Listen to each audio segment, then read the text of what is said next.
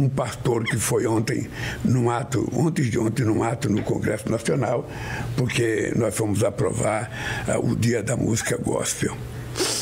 A, a, música gospel é uma coisa importante no Brasil e você veja que os grandes artistas americanos, as grandes cantoras, todas nasceram dentro de uma igreja, cantando no coral.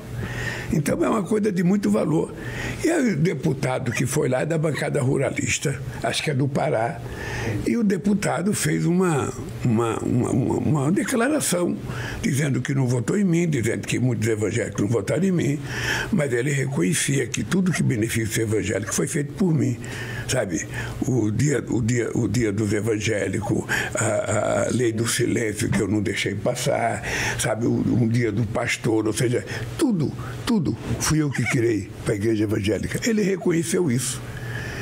E eu fiquei com vontade de perguntar: se você sabe disso, por que, que você votou no Bolsonaro?